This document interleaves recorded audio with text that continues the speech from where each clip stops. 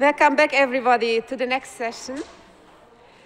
We have seen um, about uh, problems how to get uh, girls from school to the university, but then you know the leak is at every stage, and also it is problematic to get enough women from the studies further to stay for making a PhD at the university.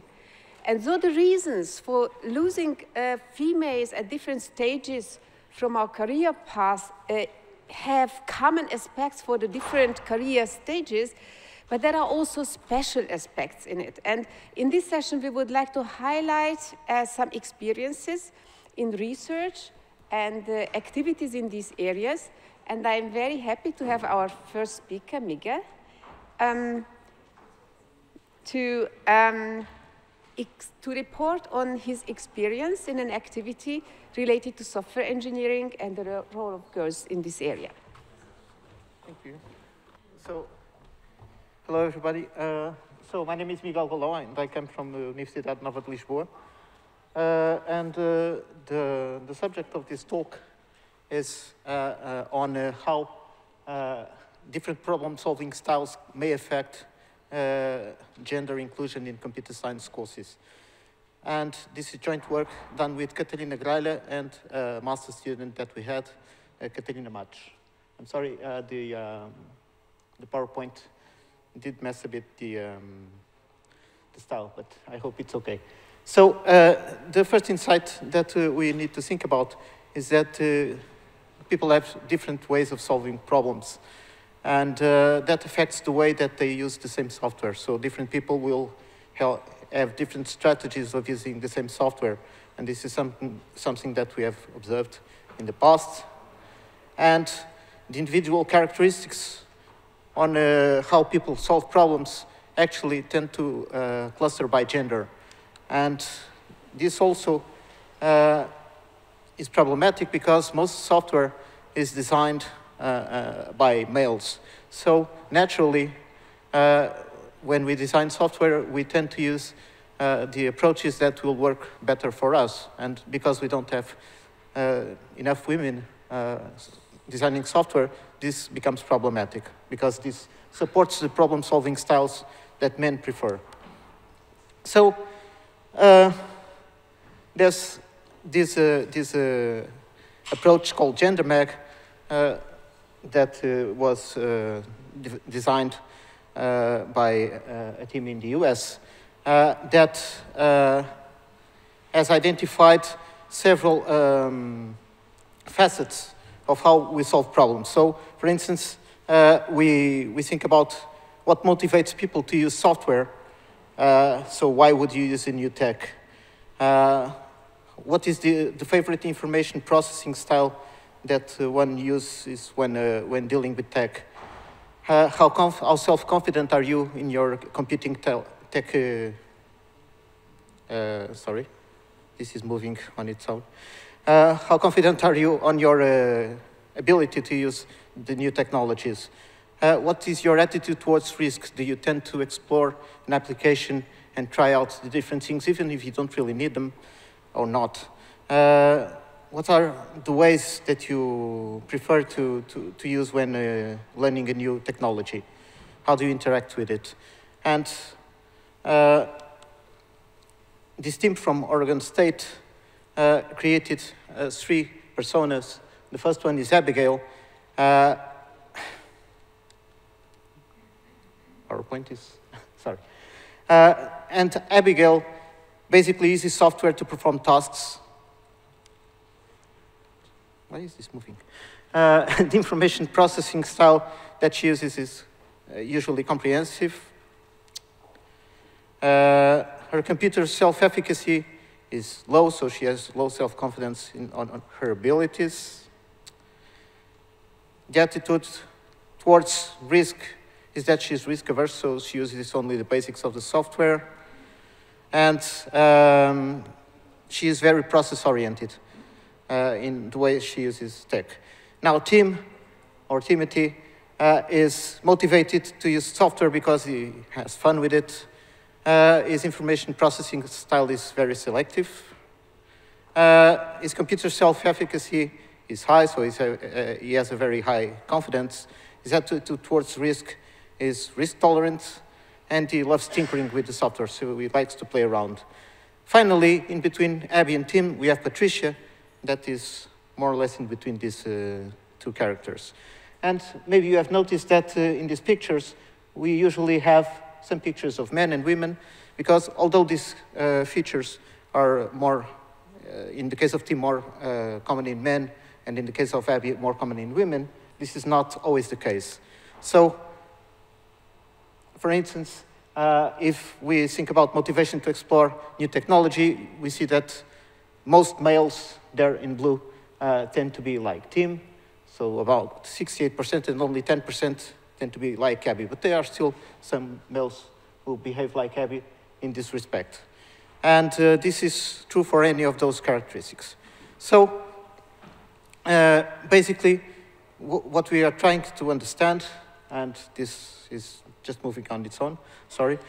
Um, what we are trying to understand is, first, is that are women who enroll in computer science different than other women in general, with respect to these uh, uh, problem-solving styles?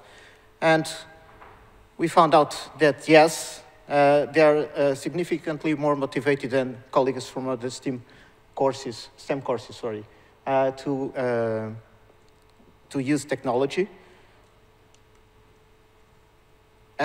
They are also more adept of tinkering than colleagues from uh, other STEM um, courses. And with respect to these three other uh, characteristics, they are basically the same. Uh,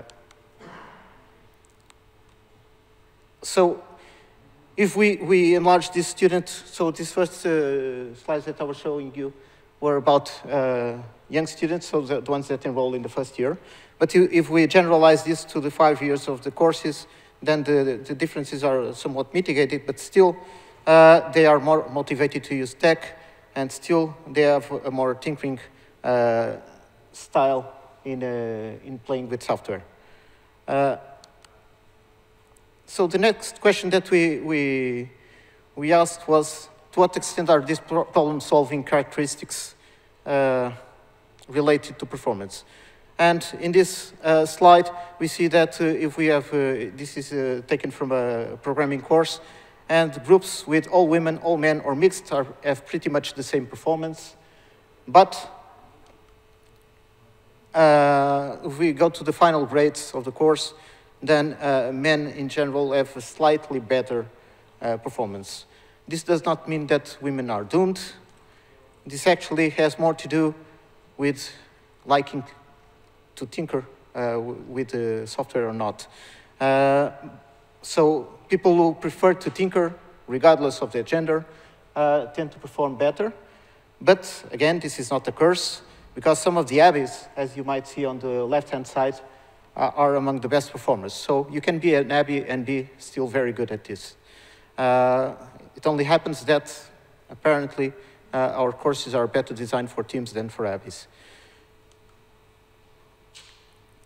So the next question that we asked uh, ourselves was, was, to what extent did professors' um, problem-solving styles met, match those of students? So we had a survey with 129 computer science students and 16 uh, computer science professors, and what we found was that students in general are more motivated than professors to use new technologies.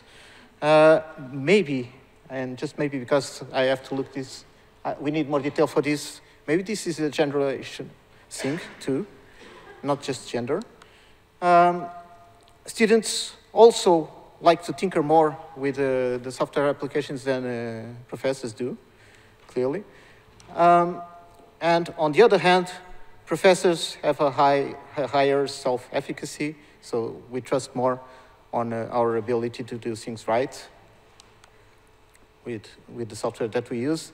And we have a more selective uh, information processing style. Again, this might be a question of maturity as well, uh, not just uh, gender. By the way, uh, in this scale that you have seen in all these, uh, these graphs, uh, Tim is represented with nine, Abby with one. This is just two ends of, the, of a spectrum, okay? It doesn't mean that being Abby or being Tim is better or worse. It's just a representation thing, okay? Uh, because as you, have seen, as, you, as you have seen, the best student that we had in that programming course was actually an Abby. Uh, so, concerning the attitudes towards risk, we are similar to our students in general. Um, I'm closing to the end. So the next question that we asked was, are we shaping our students to be like us? And um, to, to, do, to, to answer this question, uh, we picked that survey with the 16 uh, professors, and uh, we found that professors who have a lower self-efficacy, they tend to favor offline materials like books uh, and autonomous search by students when assigning projects to, to them and asking them to, to learn about a new subject. Um, with respect to learning style, professors who favor a process-oriented learning style rather than uh, prefer to tinker with the, the software, uh, they favor solving problems in, in, in, classes with the participation of students. So uh, they will ask for students to help uh, them uh, on the next step of the problem and do this systematically. Uh, and this is more frequent in process-oriented professors. And with respect to inf information processing style,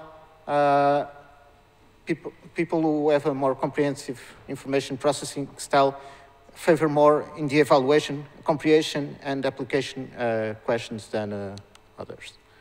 Okay, and finally, uh, sorry, this slide is buggy. Okay, sorry. Uh, all this uh, data that I've been showing you uh, was collected in the context of a master thesis by Catarina Matos. Uh, and we have a clear notion that we have only scratched the surface. There's a lot more to learn about this. Uh, so we have enrolled a few more students to help us out in this process. And uh, the challenge that I would like to, to leave to, to this community, which I'm joining today for the first time, is that maybe we can leverage this notion of uh, different problem-solving styles and make our uh, teaching practices more inclusive so that uh, we make it more appealing to uh, the Abbeys in the world, okay? And that's it. Sorry about the problems in the PowerPoint. I hope you got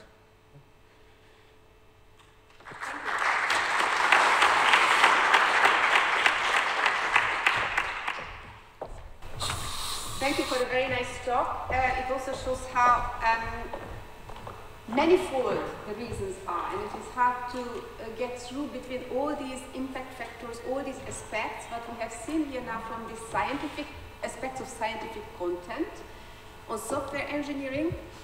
Um, oh, thank you. um, are there any questions in the audience or online? Yes, please. Um.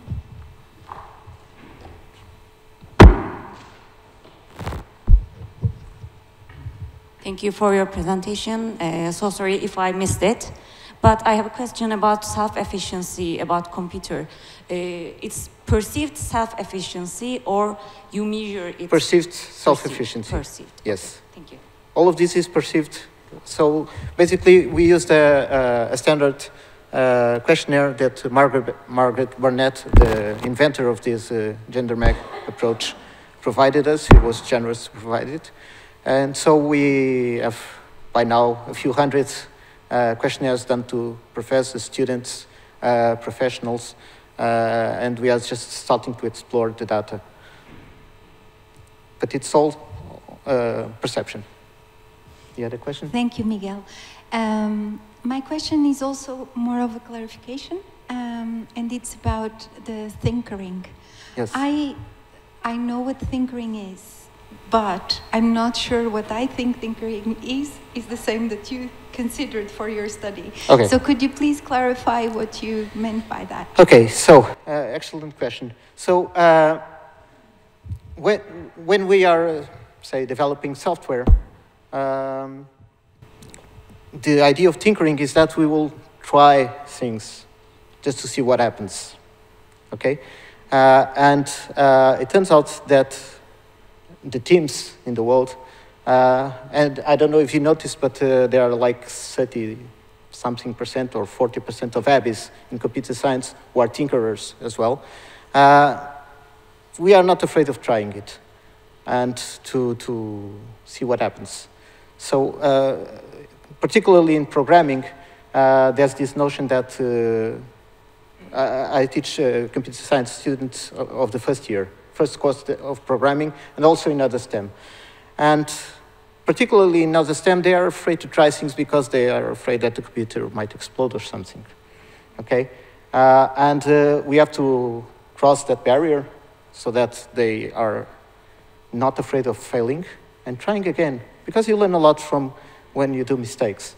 Uh, and apparently, and this is my perception even for my teaching, we seem to favor uh, approaches where people will actually be encouraged to try and fail, try and fail, try and fail.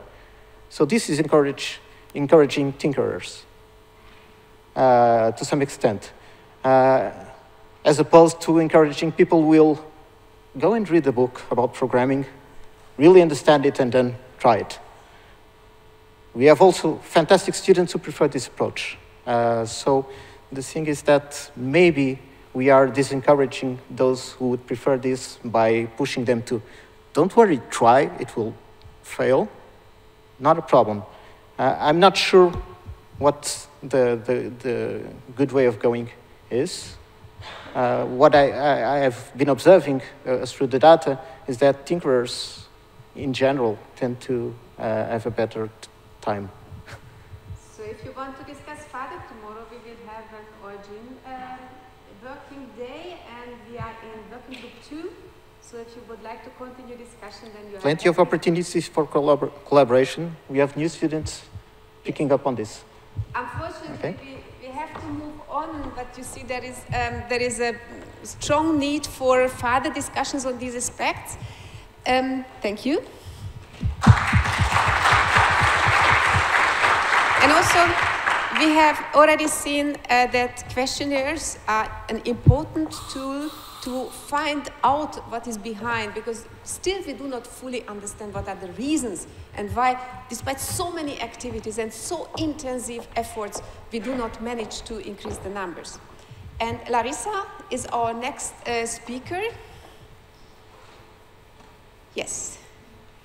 Uh, who did also a very nice um, effort in this direction and um, collected also some facts uh, what uh, moves, what motivates girls to uh, pursue um, computer science careers. Please. Thank you. Um, how can I switch between slides? ah, okay, thank you. so, ah. Yes. So, hello and welcome to my talk. Um, as, as, as, was already said, um, my colleagues and I conducted a study um, about problems um, researchers in Germany have and how they solve them. Um, so we are from three different groups and normally conducting research um, related to software engineering and software architecture. And within our group, we already have different cultural backgrounds, and we are at different stages of life, meaning that some of us are older, some of us are younger, some of us already have kids. Um, but what we all share is that we are women in computer science and thus a minority.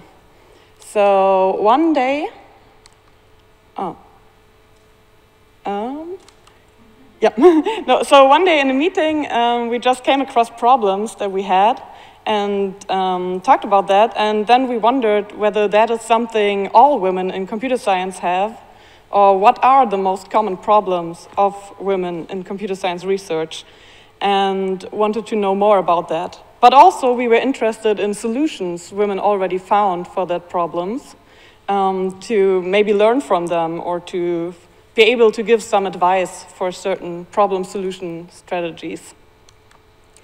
So we decided to conduct a survey about that, asking women about that.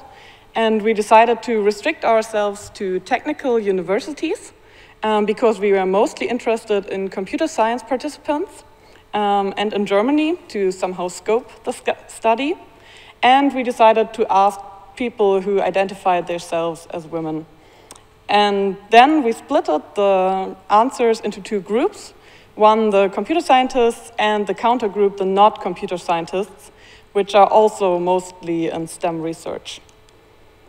Um, yeah. To find out more specifically about their problems, we first came up with four main problem areas where we thought problems could be located in, which are the cultural, personal, and the workplace dimension, and the research, where we distinguish between problems at the workplace in general and problems related to research um, specifically. And also an others category to account for problem areas that we didn't think of and to give participants the yeah, possibility to state some other problems.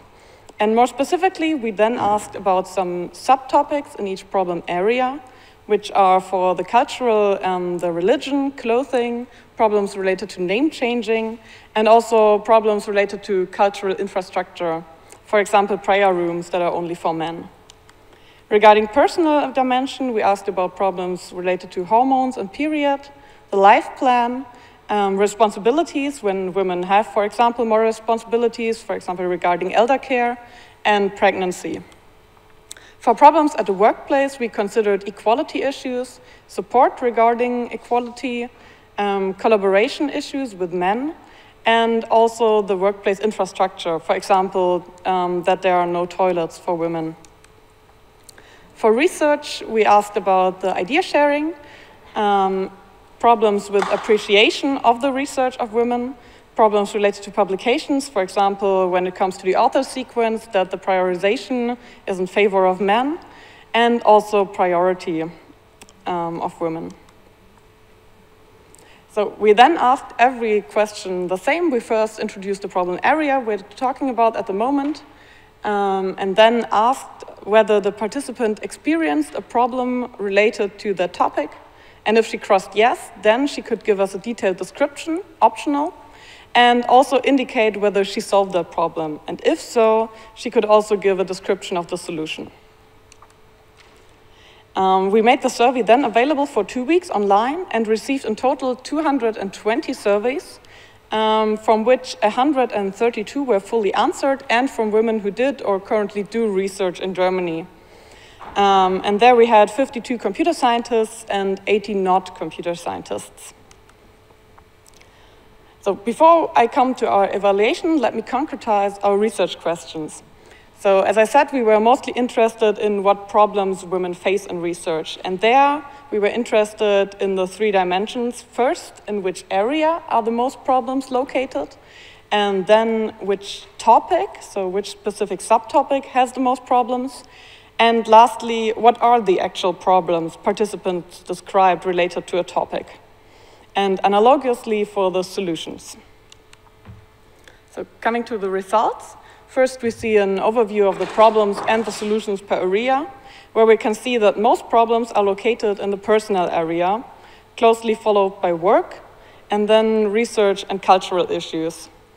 Um, where we can also see the problems are colored in red, that um, work problems seem to be way more common for computer scientists, with 30.9% related to 24.9% of non-computer scientists. And speaking about solutions, we can also see that most of the problems are not solved. Only about a third of problems were solved by the computer scientists and 24% by the non-computer scientists. If we now look at the topics, um, we can see that life plan issues are the most common problem. So for example, to decide when to have kids. Um, and then followed by equality and the responsibilities topic for computer scientists. Um, yeah. While we can see that for some topics, solutions seem to exist, which are colored in green, for example, the life plan, was solved for 4% of the problems and 4.9 um, by the respective groups. For some issues, there don't really seem to exist solutions. For example, regarding support or appreciation, where it would be certainly interesting to look further into why there are no solutions to that. So now to the third sub-question, what are the actual problems that were described? To gain insight about that, we actually read the answers and labeled them and came up with 37 labels, from which the most the label we assigned most was the parenting label. So again, a person, personal issue, and also family planning. So for example, one participant wrote that as a single mother, her colleagues expected her um, to organize her way, her child, and even considered the time with her child to be like their hobbies. Um, and another woman wrote that family planning is very complicated because there's so little job security. Um, on the third place, then male communication followed, um, closely followed by undermining. So to explain, we gave the male communication label when there were problems in communication and co collaboration with men, but it didn't seem if uh, so that men were performing intentionally against women. It was more their style of communication or some comments they made that weren't good, um, as opposed to undermining, where men intentionally performed against women. Um, and then promotion refers to problems um, related to the career because of, um, for example, parental leave. So, for example, one participant wrote, whereas men are supported and invited, for example, to publish with the boss and getting great recommendation letters, my female colleagues and I are doing the groundwork, teaching, for example. Now, um, to speak about solutions. Um, as I said, um, about a third of problems were described or were indicated as solved. However, um, we sorted out some solutions um, from the labeling process that didn't really were a solution. For example, one participant wrote that she continued to go to work um, with migraine and just take more painkillers. So we didn't consider that a solution and thus didn't include it in the solution labeling process here. So the most commonly um, described solution was to accept help by others and also later on help others. For example, one participant wrote that meeting and exchanging with other women and also building networks of women really helped her. And then even after a solution we consider as good, um, follows the workaround, um, which is mostly more time consuming and thus not really a good solution. For example, one participant wrote related to the name changing problem that she just established a constant communication about who she is, um, being the person that run under a different name before. On the, on the third place, we then have to strengthen the self-esteem, which um, also refers to adapting your behavior or communication. Um, as for example, one woman wrote that she adapted uh, her communication to be more straightforward and to communicate her needs more directly. Yeah. So shortly regarding threats to validity, um, regarding the internal validity of our study, the areas and topics were not fully disjoint, and also the association of a problem to a certain topic or area depends on every person, so that could change a little bit. Regarding external validity, we only contacted technical universities, so our non-computer scientist group may not be comparable to other non-computer scientist groups, and also we had different group sizes. Regarding reproducibility, the problem and solution labeling process um, would be a concern.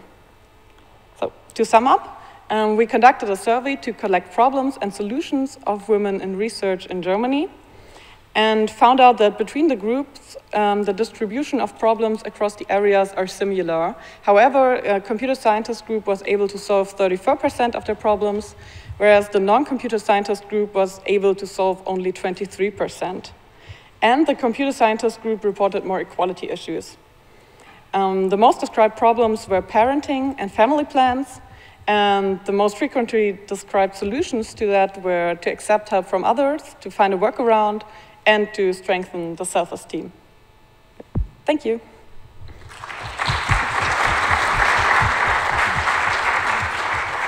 Thank you so much for the really interesting talk. it is a pity that we actually have now already uh, over, but if there is any question for fast, then we could handle perhaps one or two. Yes, Ivica.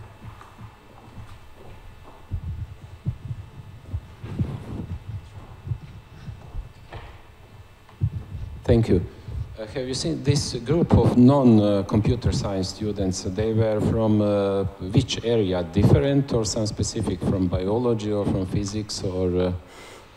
Yeah, they were actually from different areas, though most of them are in the STEM area. So we only had, I think, five participants that were not in, located in STEM areas. Yeah. But all. Perhaps an online question? Yes, there's one question from Andri Ioannou. And she asked if there are also data from Cyprus because she's really interested in the data as there is no reference at this point for her. Ah, yeah, sorry. Yes, actually, um, we also published a study at this year's European Conference on Software Architecture. And um, we also have a Git repository containing all our survey data, which is also linked in the paper. And the paper has the same title as the talk. Super, thank you. Very good. I hope also that we can have your slides also from the previous talk uh, to share, mm? uh, such that uh, you can also have the data from the slides. so unfortunately, uh, I think we need to go for the coffee break now. But also here, also Larissa will participate tomorrow in our uh, group meeting. Yes, uh, next session comes immediately, not the coffee break, exactly. So Larissa will be also with us today. Thank you once more for your talk.